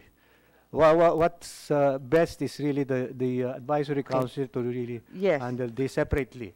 That's actually uh, what I'm doing, uh, Dr. Celis. I'm passing the buck to Commissioner Casquejo. Since we like his presentation, can you do the rest? uh, Mr. Averia, please. Thank you very much, Madam Chair. Um, in that regard, uh, doc- Dr. Celis mentioned about criteria. In that regard, we submitted or emailed to your committee, you know, the, the criteria. But we should also, because there are several bills that have been filed in, in the House of Representatives, and at least one bill here, that of the Senate President's bill on hybrid elections. Uh, the question is, what kind of hybrid system? Because several proposals have been, you know, drawn up and, and presented. So I, I think we should start also on defining what the hybrid system is. Well, actually, as I said, uh, the hybrid appears to be a misnomer at this point because we're adding technology and not have hybridizing with No. manual at all. E- Exactly. So that's why we have to define it. And there are several proposals or there are several ideas. hybrid automated. Yes. So, hina-hybridize natin ng iba't ibang technology. And I, and I think to harmonize the bills that have been filed, no? Uh, we should we come up with a necessarily common. do that with the yes. committee, uh, We have- report. We have to come up with a common definition. That's one. Second is the set of criteria so that we can evaluate the different solutions uh, that may be presented. Yes, uh, right? that's, that's the Great. job of the committee uh, report. Yeah. Uh, So submitted to your committee via email is the uh, proposed definition of a hybrid system, uh, the, that's criteria. We even, I think, Kaya nga lang even eh, at the rate we're going, wala nang natira sa manual. Hina-hybridize na lang natin yung technology. Yes. So, and then, of course, we, we consolidate, or we, we came up with the matrix comparing the various bills. So, uh, so I think that that would be for your uh, Yes, thank you. We're in receipt of uh, those emails. Thank you. Okay, um, for assessing the um, election systems, is this still uh, Commissioner Casquejos or do I recall this from Yusek Rio? Uh-uh. Yeah, I saw it earlier. That's right. I got confused because we were... Tapos na tayo. I have one slide. Yeah, can we allow one- Commissioner Casquejo to finish? One Kasi nalilito na so kami I just uh, tell the implications and, and effects Apo. of uh, doing that one. So we need to amend the the law. Ayun, yun ang process, sinasabi ni yeah. Senator Tolentino. The- the At least, minimum yeah, natin yeah, yung to minimal, re- minimum requirements. Because we cannot uh, do that without amending the law. Yeah. And then uh, another effect will be the longer time in counting of votes. So it takes How much time. longer po? So just an uh, an estimate, we can do that in 30 to 40 seconds. But if there are objections and other ones to see it, maybe one minute. 30 to So 40 seconds, kada Yes. bot, kada ev- boto. Every every Hindi naman yung voter. 200 per precinct in 30 to 40 seconds. Uh, we 30 to are- 40 we are per ballot. Around 600 to 800 voters per precinct because if we Okay, lessen yeah. that one, we will have additional cost of the machines. And That's right. that- that's So, at 30 to 40 seconds, at That is 700 around Five to voters, eight hours for the counting process. haba, no? Yeah, five to eight hours. That is the. Uh, Hindi ba ano mag-overheat lahat yan? From the projector to the barcode Oo. reader? Yeah. Mm. Actually, ma'am, Yes po. when we were doing the manual, uh, it takes days for the counting alone. So That's this is right. That's why um, I When- personally went through that and Yes, find that entirely unacceptable. Yes, ma'am. So, matulog lang yung mga tao, then e- early next morning, uh, they get Di sa amin po, hindi sila natulog. Yung iba nabaril eh. Kaya hindi kami natutuwa sa ganyan eh. So. Yes po, so Commissioner that is the Casquejo, ideal please. number of hours that we are going to expect. That will be five to eight hours, the ideal. So we can go more than that. And uh, the ideal uh, day of transmission or the hour of transmission will be the following day or 12 midnight of the following day. Yeah. So it's, Valentino, uh, please. I was looking at that, midnight of the following day. So meaning to say, a day after the elections. A day after election, after the close of polls, uh, that will be around eight hours. So that will be the day after. At the So that's more than hours. 24 hours. Uh, yes, that is. Uh, Kasi if, you we- close we- at 6 o'clock, and then the reckoning period is midnight, the following, or is it midnight of the same day? That's midnight of the same day. Ah, sa ngayon ba? midnight- midnight When the do you day. transmit? Yeah, yeah, yeah. Sa ngayon? Uh, mali, mali lang yung ano, presentation. That is midnight on the same day. Midnight of the same Midnight of the day. same Not the following day. Not the following Yeah, yeah, day. Uh, that's supposed to be 1 o'clock of the following day. I just suggest Yes, it to oo. 12 minutes. Yeah. Thank you, ma'am. And then, again, the budgetary requirements, we have to lease a new machine. I don't know if we can still use the VCM machines. Uh, according to Smartmatic, I asked them, they can always, uh, uh, they can, you, we can still use the machine using that technology. It's just a source code, it's just a program. And the machine is capable of uh, having a output source for the projector and input for the barcode scanner. So we will purchase a projector and a barcode scanner and then additional cluster machines because we have to lessen it from 8 1,000 to 800 and the additional electoral board as well as their honorarium maybe because they are going to spend more than an uh, additional 8 hours for the counting process. So that will Okay. be the budgetary requirements that uh, the implication of the budget. Right. Yes, Marco, please. Ah, Ma'am, I, I would like to request a few minutes because I have my own uh, suggestion how uh, this election should be more transparent. Later, if I have, to- if you can give me time. uh, yes, uh, we're happy to hear it now. Uh, this is a working lunch, so let's just proceed kung okay sa inyo. Yes. Uh, good morning po. Good morning po, Senator. Uh, yung suggestion ko, my suggestion is uh, grounded on giving value uh, and importance to the VPPAT, the voter's receipt. Uh, yung sa akin po, yung ating uh, election system will still be the same, uh, automated siya. Uh, we can accept enhancement or improvements on the automated system. Ang aking uh, proposal po is this. When a voter casts his vote, feeds his ballot to the machine, instead of one receipt that will be issued by the machine, four receipts will be issued. One copy is for COMELEC. The second copy will go to the ma- dominant majority party. The third copy will go to the minor, uh, dominant minority party. And the fourth copy will go to the accredited citizen arm, authorized by COMELEC. Now, the voter now will now read the VVPAT and confirm if it is the it it was the the votes that he actually made. No? Kung okay na 'yon, he will now deposit the four copies in four different boxes or receptacles.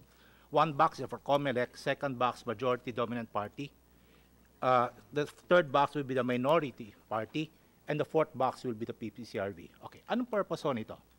Pagkatapos ng botohan, immediately, same process, the, the BI will uh, close the voting, then the machine will issue the election return. Yung counting po, sinasabi nyo, just feed the machine Just then. the so machine you will have count it. four machines also for these four No, receipts? Isang machine lang po. And Isang machine. They will issue four receipts. Four receipts. Yes. Yun lang. Yun But lang po. the ballot counting remains the same. It remains the same. Now, uh, pagkatapos po ng counting ng machine, the machine will transmit it. So magka-canvas na dun sa canvassing center. Okay. Anong purpose nitong apat na VVPAT? The once the voting is closed, the machine will now issue the ER, the election returns. The first election returns, meron pong copy rin doon yung majority party, minority party, and the citizens arm. In addition to the ER na ibibigay mo sa majority party, bibigyan mo siya ngayon ng copy ng VVPAT. Yung minority party, bibigyan mo din siya ng copy ng VVPAT. And the citizens arm, bibigyan mo din ng copy ng VVPAT. Now, they, dito, we are encouraging the parties, the, as representatives of the people, to participate in our democracy, and they themselves will count on their own. Hindi naman maapektuhan yung process natin ng counting and transmission. So the delay issue will not happen. Tuloy-tuloy pa rin ang ating ah, proseso. There would be no pro- pre-proclamation controversies. Pero ang anong importansya nito? The majority party or the minority party can now use the BBPAT in case of discrepancy in the official count vis-a-vis their BBPAT. Doon sa kaso ng, ng Supreme Court in the case of uh, Bagong Bayan VNP movement, sabi ng Supreme Court, eh, yung ating BBPAT is the base, best source of raw data of voters. So kung ako yung kwan, kung ako yung majority party, and binilang ko yung BBPAT, hindi siya mag, magtatali sa ER, I can now file a protest with COMELEC. The COMELEC can accept protest within a certain number of days, 10 days ngayon. We can adjust that. We can make a summary procedure just for the purpose of comparing the results in the VVPAT as well as the ER. Kung talagang may discrepancy, we can proceed. Kung wala naman, i-dismiss natin. So ma'am, To clarify, in case of a dispute, there will be four VVPATs na ngayon. yes ma'am.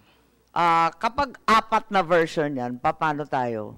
Uh, the machine will issue four copies. Ang suggestion ho namin sana yung parang, paano mo tawag doon? Yung apat na copies sabay-sabay ipiprint, carbon, carbonize, Oh. single, kung kakayanin Okay. ng machine yon. Apat na ER. Apat, ap, BBPAT po. Apat, BBPAT, oh, apat oo. po na receipt, pero isang ER lang yon. Then later on, when the when the party, majority or minority party gets his copy of the ER, he also get a set of the VVPAT. Then uuwi niya yon, bibigay niya sa kanyang watcher. Then iuwi nila yon. Magka-count sila on their own. May, they do their own audit. They do their own audit. Now, with, under our present rules, if there is a protest, they have to file within 10 days. We can, COMELEC can adjust the days. We can, we can extend it to 15 days, probably. and then give the parties the chance to contest it. Yes, Senator So what uh, you're saying, Tolentino. what you're saying, uh, Commissioner, with all due respect, is that after an elections, we will now be having four parallel countings to be made. Uh, two by the political parties, one by the the commission elections, and the fourth one, uh, having the BBPAT, would be Citizens Arm. Citizens Arm.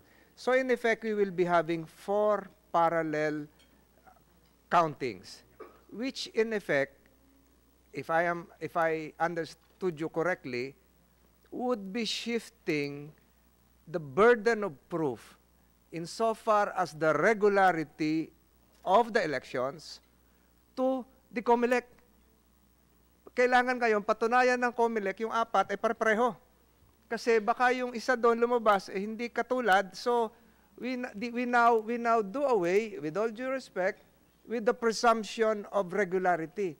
So ngayon pag yung isa si si Citizens Arm ay yung kulang ng isang boto, hindi na ibigay yung isang BBPAT, hindi na magtatali yon. So kailangan para mapatunayang regular yon, yung apat pare-pareho ang resulta. So pag merong isang pumalya, patay na. May mag, may, meron, ito na yung binibigay mo na na 10 days, i-extend pa para may magprotesta. Ganun, ganun po ba yon? uh, Senator, uh, the, the purpose of giving, the four copies po lalabas na VVPAT. No? One copy will uh, go to COMELEC, and this will be, all of them will be authenticated by security features. Now, uh, if the majority party, let's say yung candidato for mayor in the locality, got his copy of the VVPAT as, as well as the ER, he will compare now whether kung tama yung ER vi- vis-a-vis the VVPAT. Kung may nakita siyang discrepancy, assuming may nakita siyang discrepancy, he can now file a protest. Pero itong protest natin, nilalayo natin doon sa proseso ng counting and transmission as well as to the point of proclamation. We're giving him the opportunity to go to the COMELEC and file a protest. Now, sa, sa protest naman, uh, we can also amend our rules to allow a protest to hear the first case of discrepancy. Summary lang naman po ito. Iko-compare lang yung kopya namin, which is a security paper naman yan, dun sa VVPAT nila. In fact, when we were discussing this in COMELEC, I, I specifically asked kung matuloy ito, that the, that the protest or the petition must be verified by the candidate himself as well as the lawyer. So kung talagang may kalokohan, hindi naman totoo ang sinasabi nila, we can immediately dismiss the petition. Doon naman sa level ng ah, kulang, eh, So so we're now encouraging pre-proclamation protest. So ang ang ang worry ko dito will will a deviation coming from one source VVPAT will will it hinder the proclamation of other uh, candidates uh, not similarly affected? uh, Senator, wala pong pre-proclamation controver- ah, pre-proclamation cases dito. Tuloy-tuloy kasi yung proclamation natin. Once the There will be a, a pre-proclamation determination uh, as to whether that complaining candidate received that that actual number of votes. Di ba sabi niyo? No, hindi po. Uh, once the once the election is done, the machine will issue the ER, then immediately transmit the votes doon sa mas mataas, no? Sa municipality na. That example, uh, with the permission, Chair, that example of the complaining candidate for mayor, ano mangyayari ngayon doon? So Okay. walang, walang proclamation doon. Hindi, patut akit po yung yung uh, result sa munisipyo, sabay-sabay naman sa mga presinto, and then they will now proclaim who is who is the winner. Yung mayor naman, he will bring home uh, yung kanyang watcher, dadalhin sa bahay yung kanyang mga VVPAT, he will now do his own audit if he wants to. Then kung may nakita siyang controversy, he cannot stop the proclamation. Wala, wala, he cannot stop the proclamation. Tuloy-tuloy yan eh. Then his only remedy is now to go to COMELEC and file a protest.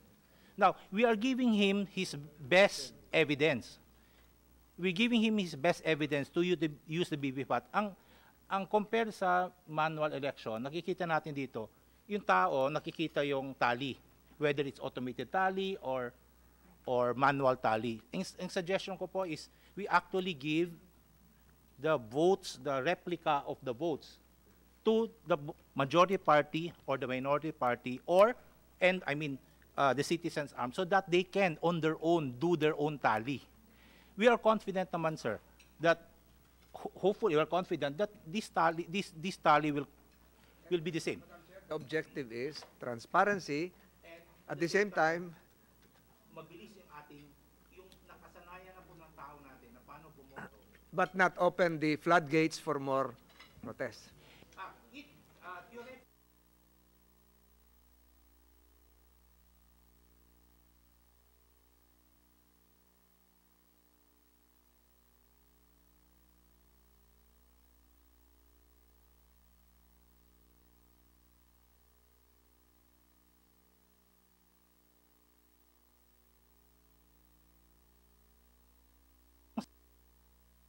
The law department, we don't need actually any amendment of the law. The COMELEC can do in its, in its own rules, improve the system to accommodate my suggestion. And number two, while we can uh, purchase or lease new machines, yung additional paper lang naman will not add to the cost substantially. Third, we don't need to get additional people to pay for allowances at hindi hahaba yung ating election. So, we are addressing both the issue of transparency. We are, in, in fact, encouraging our parties to participate in our democracy exercise. And third, mabilis yung ating proseso. Uh, this is certainly something to think, ab- think about, Commissioner Ko. At uh, tunay nga na makakatulong siguro para ma-avoid natin yung post-proclamation na sobrang madugo. Ah, kaya maganda rin talaga. um, kasi maraming na-proclaim, di ba? Not elected, but come-elected. Parating sinasabi yan ng politiko. Kaya siguro maganda rin talaga, ma-avoid na natin yon. Ah, sana, hopefully. I have a further suggestion. Pag inuwi nila yung mga boxes, yung ah, ERs at ah, yung ah, mga VVPAT, pwede ba sa isang designated venue, sa supervised secure venue, o kanya-kanyang uwian ng gamit? Ma'am, kwan po, we can we can address that in our rules. Uh, ang nangyayari ko ngayon kasi after the close of uh, voting, pag na, na-print na yung first eight sets of ER, bibigyan na po lahat ng copy, no? Yung ating majority i-arrange na po yung ER for them. And then pwede natin isabay doon yung VVPAT so that the the the watcher of a particular party can certify that he received his copy of the ER as well as the VVPAT. Bibilangin ho doon, kompleto dapat 'yon uh, na matatanggap nila. So we can arrange that in our own rules. We can do that That's on our right, own. that's right. On your part, siguro you should uh, designate a single place para Yes, we can we can secure. uh, opo. Mamaya, ang accusation naman, ginalaw.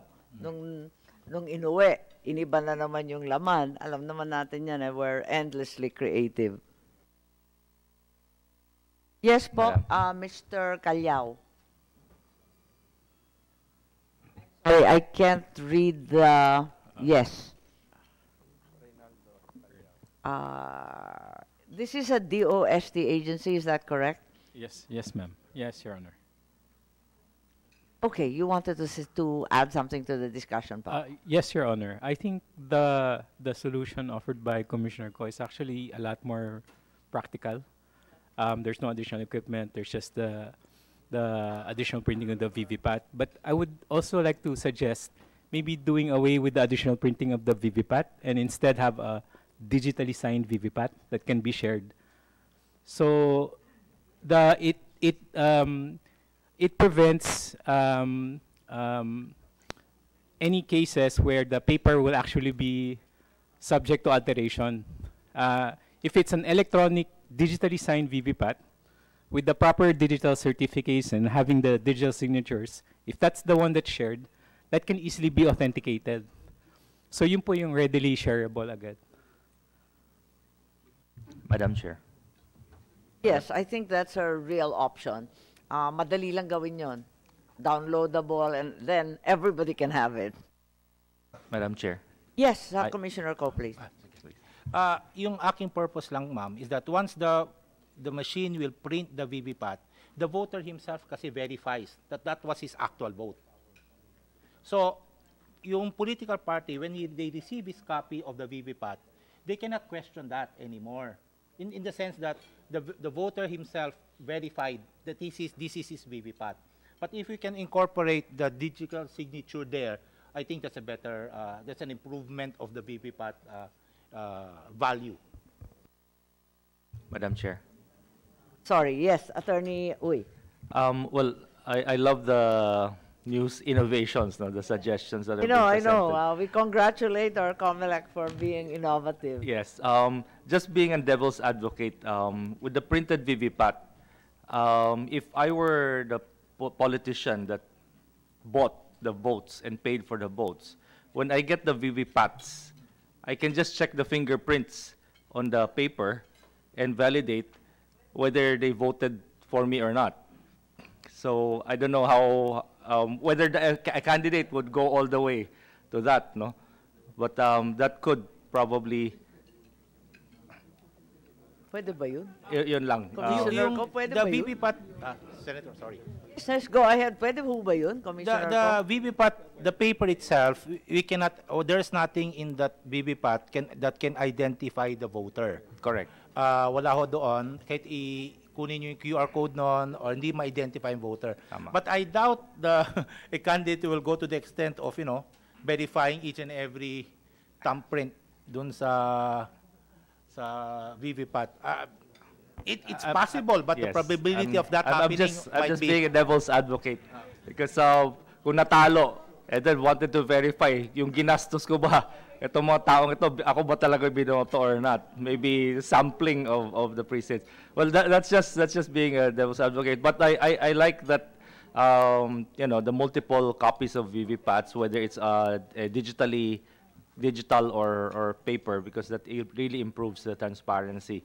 And um, um, sec- secondly, uh, since our telco representatives are here, um, I just want to throw in question uh, because a lot has been said about the Meet Me room.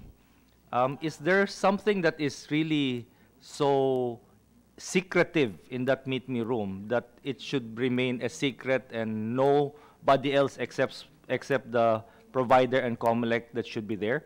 Or can it also be public, open, or with representatives from the JCOC, from the Citizens Arm that should also be there? I mean, because for every election, it's always been the most secret place in, in the country during elections. Yun na And nga eh. I think that's where Dr. Celis was going kanina. Yes. Maraming bahagi na nagiging secret bigla eh. Right. Yung meet me room talaga napakahiwaga. eh, walang nakakapasok doon kundi yung ah, provider din eh. hindi lang walang nakapasok ko, walang nakakaalam kung nasaan. And so, Pati Comelec yata, boxed out yan eh. baka hindi rin alam na Comelec. so, ay, gusto ko lang iba to sa telco providers, whether an, ano ba yung nandiyan sa Meet Me Room na kailangan ganon. Or kung may solution kayo, uh, if you want them to answer or you want them to answer during the transmission um, um, part of the of the hearing kayo po. No, andito na tayo Ah, eh. sige po. Uh, we've heard two versions of the counting and um, the uh, transmission partially of uh, precinct results. We clearly need to get to the next part at uh, Attorney Tubayan, if you're ready to respond. Good morning, uh, Madam Chairperson and Senator Tolentino, as well as our fellow resource persons. Actually, on the part of the telco, the main uh, function of the telcos are just uh, connectivity providers, just the pipes. And according to our technical personnel here, who accompanied me, um, meet me rooms actually, uh, it's really um, not part of the um, functions that the telcos provide. So we, we do not actually have a visibility of the content of any of the transmissions made. So we are simply just a uh, pipe, a transmission pipe, just like a delivery uh, van, a delivery like Grab or Lalamove perhaps. Uh, and uh, maybe uh, because here our client is the Smartmatic, it's not actually the Comelec. So, and then we have, we're covered by, um, well, the scope is very limited, and we have a limited view, and the lags that we see are very limited as well. It's only when it's turned on and off, the system is turned on and off, as well as uh, when uh, maybe the lags of the transmissions. But other than that, we do not have uh, visibility at all, uh, Ms. Madam Chairperson.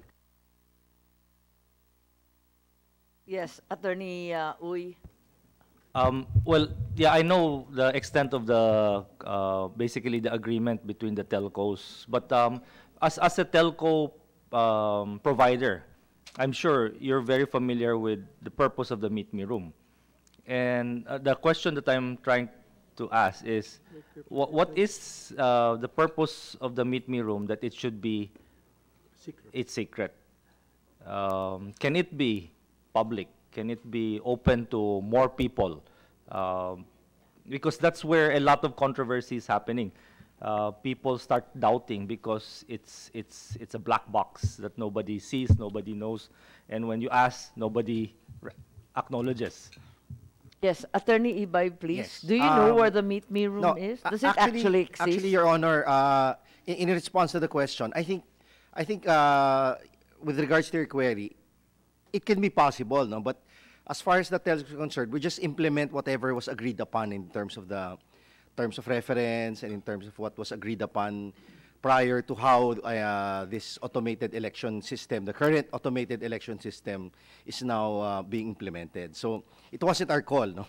So just to just to be clear about it, it wasn't our call, and what was agreed upon between the COMELEC and I think the the Smartmatic, the the accredited uh, um, uh, implementer for the automated election system, and uh, the telcos were just um, ordered to to comply with whatever was agreed upon. Madam Chair. Yes, um, this committee finds it extremely difficult to accept that the telcos uh, have no control, no knowledge, no clue about the Meet Me room, given that clearly it's the storage facility somehow provided electronically to um, the uh, election provider. So siguro naman may masasabi yung technical ninyo tungkol dyan. Mr. Ramos, please. Uh, Madam Chair, in addition to that query, uh, can we ask our telco providers who participated in the last election, aside from having that connectivity, these pipes, do you confirm that there were equipments placed there by the by your client for to facilitate such uh, activity, monitoring, or whatever is the purpose of Smartmatic? Yeah, uh, as, uh, as a telco provider, uh, our role is just limited to the connectivity. As to hardware that the, client is uh, installed, uh, it's not ours, as um, Attorney Ibe has mentioned. Um, and we, we do not have participation on content that the client uses to use the transmission pipe. Uh, Your yes, Mr. Ramos, please. Uh, this concept of meet, meet me room, is it really a room, a rack? What is it? Is it a cloud? yes, somebody's raising his hand. Mr. Casino, please. Uh, Madam Um, Chair. Would you like to query the telcos as well? Uh, well, or- if we really go to the principle of digital signature and we understand the concept of the true digital, where it requires a public key infrastructure, it will do away with the Meet Me Room transparency survey because the purpose of the digital signature, from the origin to the destination, it will encrypt and decrypt so that the targeted destination will make sure that that data that was electronically transmitted is a true reproduction. And if that is really applied using the uh, infrastructure that the Department of ICT is recommending, then there is no more need for these transparency servers, these meet me rooms, because from point to point, it has already been clear. That is the, that is the principle of digital signature. So, for instance, can we put the Meet Me room in the DICT office? technically uh, capable of answering that. But anyway, uh, y- I don't think that's possible. Yes, why not? if uh, for purposes of transparency, if uh, if that's uh, what's decided upon. Okay, on behalf of USEC Rio, I accept uh, the location of the Meet Me room in the DICT. Yes, ma'am, except that we lack parking. Te, ganito, uh, we don't want to put our telcos on the spot, but perhaps you can inquire from your technical uh, people how to increase the transparency of uh, the entire process, given that, after all, the pipes is where all these votes are transmitted. The pipes are valuable, and um, maybe report back to us so that um, all these rumors of a meet me room in some untold location will finally uh, be uh, dissipated. Yes, Mr. Averia, please. Uh, Baka nasa well, Namprel. Wala po. Isa lang po kami sa recipient. um, well, it's, it's a very technical issue itong meet me room na to. But, but basically, it's a data center where all where, where all the transmissions are channeled. No? So it's necessary. Plus, of course, kailangan i-track din natin yung transmissions. In that regard, one of the things that we were requesting COMELEC was for the transparency of the data. In other words, pag nag-transmit ako from the VCM, may lag yan. Pwede ba namin ma-access yung lag? Pag yan po ay nakarating dun sa target or the destination, may lag din yan. Dumaan siya sa meet me room. Lahat ng dinaanan ng transmissions na yun, merong logs. And that's what we want also to see. Because remember, dun sa speech ni Senate President in March, like two years ago, was it? Uh, he, the, the, one of the allegations was there was an early transmission. Right? Doon natin makikita yun. If, if we look at all the logs, given, given technologies and software that we have for analytics, kasi maraming data yan, we can easily sift through the data and and look at if there was really kasi kailangan i-correlate din natin yan dun sa mga uh, canvassing servers no kung natanggap o may tinanggap si canvassing server na early transmission yung mga ganun po na issues para ma-address din yung isang problema na ni-raise ni Senate President in, in his privileged speeches. Yes po. Uh, well taken po. Um, Dr. Celis, please, and I think we need to proceed to the next topic um, just to finish off. Yeah, thank you, Madam Chair. Uh, in addition to what Lito Averia mentioned, with regard to logs, in our propose in, in the proposed amend, amendment draft, uh, what's stipulated therein is that the uh, there should be no court order when it comes to getting the lugs from the telcos. We would like that to be uh, uh, implemented because in any protest, we would like to determine what transpired in the transmission from what point to what point, and uh, what we suggested in the draft uh, is that there should be no court order. Okay, maraming salamat kay Dr. Celis. Malalim po ang hugot namin ni uh, Senator Tolentino dyan sa issue na yan. I thought, Madam Chair, I was attending a Senate Electoral Tribunal hearing. Ayun na nga eh. Okay, so yes, you Rio, please. Short one, ma'am. I just want to emphasize that in the two versions, uh, hindi na natin kailangan ng random manual audit and that will save us 200 million pesos, ma'am. Oh, that's always a uh, good thing. Thank you very much. Uh, there seems to be light at the end of this tunnel. Um, okay. Um, eto nga, yung Hybrid Election Act, we continue to uh, urge, particular the, particularly the telcos in this case, uh, Lente and uh, Democracy Watch, the other uh, groups that are involved in uh, computers, IT, DOST, DICT. Uh, kung meron kayong mga idea, kahit wild, kahit uh, hindi sang ayon yung boss nyo, pakipasa lang kasi we're at the point where we're really threshing out all the best methods. We congratulate the COMELEC for the most creative, most innovative ideas today. And uh, sana tuloy-tuloy po natin maibuo yung hybrid. Palagay ninyo, um, makakapag-run through ba tayo nito at some point? That's really the goal, na may physical, actual run-through ng botohan nito. Whether uh, Commissioner Cos, Commissioner Casquejo, gawa tayo ng template tapos patakbuhin natin para alam natin yung actual timing. Opo, Mr. Alvia. Well, yes, uh, in line with that, Madam Chair, uh, we, we propose that we can use the, well, the PCL uh, elections this October as a venue to run uh, at least a system, no?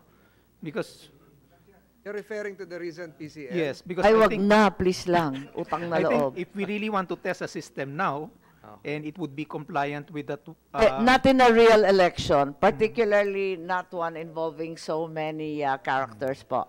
Ah, no, practice lang. Dito lang sa loob ng kwartong to, sa malamig na kwarto ng Senado. Yeah, that- Kung that maaari. Ayoko yung real, nakaka-nervyos. Yeah. Higit sa Because lahat, nakakatakot yung PCL. that would really put uh, uh, to test no, a system. No, if it's really going to run well and we're confident with the system that we're proposing, when we, we put it to not only a simulation but an actual use of the of the system.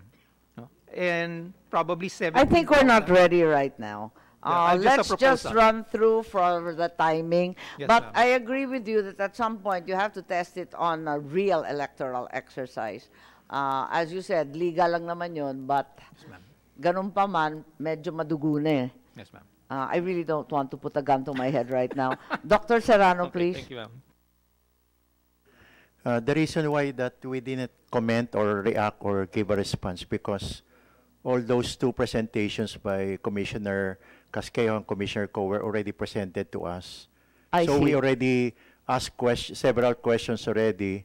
That's why we didn't ask any more questions. But we also lag out uh, additional inputs from this uh, hearing. I propose, Madam Senator, that uh, we can hit two birds with one stone. Uh, actually, uh, we wanted to really demonstrate in actual scenario the, the, the, the two presentations of uh, COMELEC commissioners. Uh, we can do we can do it anytime, but I suggest that we can also convene the JCOC because we really need to convene I the think JCOC. they're not exclusive, huh? Dr. Yes. Serrano? Yes. I think you can actually blend them somehow. Yes, I know, I know. But uh, what I'm proposing is that uh, the actual demo could be done in a JCOC uh, meeting because uh, as part of the law, we we really need to convene the JCOC. Yes, Dr. Serrano, Uh, yes, uh, we're just in the process of scheduling. Yes, so we can we Medyo- can do that uh, while having the JCOC uh, after after the after the presentation of the uh, 2019 elections. We can have the demo after. Yes po. Uh, I would prefer to do it here first before the JCOC kasi kinakabahan ako magulo sa house po ngayon. So, eto nga. Um, eto na lang. I would uh, also like to recognize Miss Bettina Kimson, former DOST. Ah, kadarating lang po. Okay. Um, okay, with that, um, we are encouraging all um, different suggestions and um, pushing for the early submission of the papers required. There is finally on our agenda one other item for the deletion of prior usage to be held to be heard in conjunction with Senate Bill 809 on the exemption from single largest completed contract. Sa procurement law po itong dalawang amendment which actually favor only Smartmatic as a result. So inaabangan natin yung um, letter, yung uh, tinatawag na reply ng GPPB. And uh, with that, um, I think there are no further, yes, Miss Bettina Kimson. Yeah, if I may, Madam Chair. Um, basically, I think um, what people have forgotten is when the law was made, there was never any implementing rules and regulations that were done.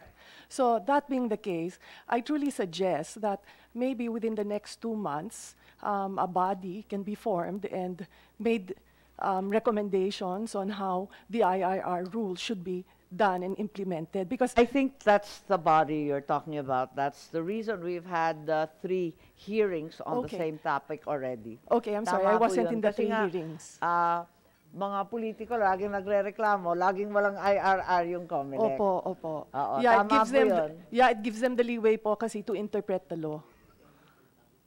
Okay, so um, thank you very much to everyone who's here.